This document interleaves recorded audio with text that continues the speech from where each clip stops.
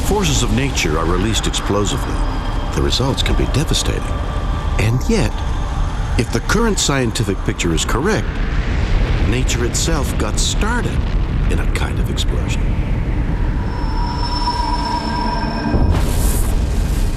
Billions of years ago, they say, the whole universe of space and time burst suddenly into existence. The fiery birth of the cosmos has become known as the Big Bang. But the more we learn about this singular event, the less it resembles any kind of explosion we've ever seen. Now it appears that the Big Bang is actually still underway and it's picking up speed.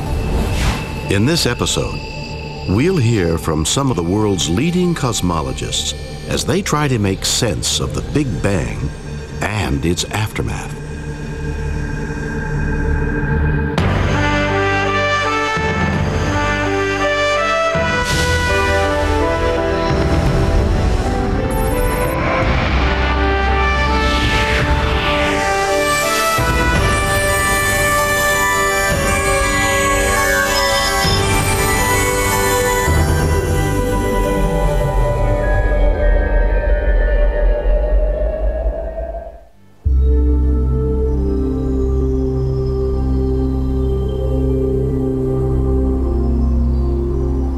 Scientists who study the biggest subjects of all are the cosmologists. Armed with the laws of physics, an assortment of telescopes, and boundless curiosity, they've put together a picture of the universe that's strange, to say the least. And for the most part, they seem to enjoy their work. Well, cosmology is the study of the structure and evolution of the universe as a whole. How did galaxies form? How did they cluster together? How did stars form within galaxies? And, and how did the whole thing evolve?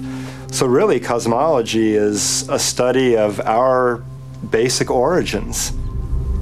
I mean, just like we want to study how, how cells formed on Earth, so too we want to understand how all the material of the universe came into existence and gathered together in clumps and galaxies and stars and planets. So it's a fantastic field. It's just one of the most thought provoking fields that I can think of cosmology has really made rapid progress in the last 10 years. Now, part of the reason for that is because 10 years ago we were so ignorant. Um, and when you're very ignorant, it's very easy to make rapid progress. And uh, we have made rapid progress in cosmology, certainly in the last 10 years, just because all of these new observations have come available.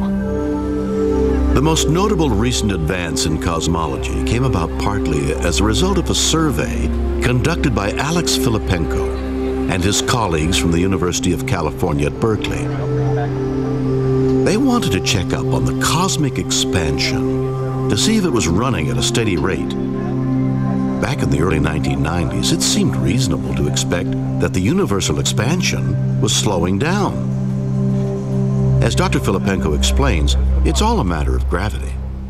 After all, if you throw an apple in the air like this, on its upward journey, it's slowing down with time because the gravity of the Earth is pulling down on the apple. And eventually, of course, the, the apple even falls down because the gravity is so strong. Even if I were to heave this apple at a speed greater than the escape speed from Earth, so that it would forever go away, it would still always forever slow down because the gravitational attraction of the Earth on the apple never stops. So we expect that the attraction of all galaxies for other galaxies in the universe to be gradually slowing down the expansion of the universe. To learn how much the universe was slowing down, Filippenko's team went looking for supernovas. It turns out there's a kind of exploding star that's enormously helpful to cosmologists. They're called supernovas, and they can shine more brightly than a billion suns. This makes them easy to see, even from halfway across the universe. More importantly, one particular type of supernova, known to the experts as type 1a, always seems to have exactly the same brightness. In that sense, type 1a supernovas are like the 100 watt light bulbs of space. A kind of standard light source so bright that one could vaporize an entire planet. If astronomers see the characteristic pattern of flaring and fading, that gives away a Type 1a supernova, they know just how bright an explosion they're witnessing. By comparing that brightness to the apparent brightness, the amount of light they actually measure at the telescope, they can easily calculate how far away the supernova must be. Measuring distances in deep space is one of the greatest challenges in astronomy. So, a star that reveals its distance like this is a thing worth searching for. So, we were finding these distant supernovae and studying them with the biggest telescopes in the world, and we were astonished to see that they were dimmer than expected. They seemed fainter than we, than we expected them to be. And we interpreted this as being due to extra distance. So they were farther away than, they, than we expected them to be. And that means that the universe couldn't have been slowing down in its expansion because then the things wouldn't have gotten so far away. In fact, it couldn't have even have been expanding at a constant speed because again, the supernovae that we were finding couldn't have gotten that far away in the amount of time the universe has existed if they had always been going at the same speed. So we deduce that in fact they must have been speeding up with time. That is, the universe is accelerating with time rather than decelerating as, been, as had been expected. The astronomers were flabbergasted. When they get results the opposite of what they expect, scientists' first assumption is that some part of the experiment has gone wrong. Measuring the brightness of extremely faint objects is no easy task, even with enormous telescopes. Any number of factors can throw off the measurement. Was the power supply steady? Were the optics properly aligned? Had they been misled by atmospheric conditions, haze or smoke, perhaps, that had gone unnoticed at the time? But we checked and rechecked both our observations and our calculations, and the answer simply wouldn't go away. The distant supernovae were too dim, too distant, and hence farther away than expected, and hence they were accelerating with time.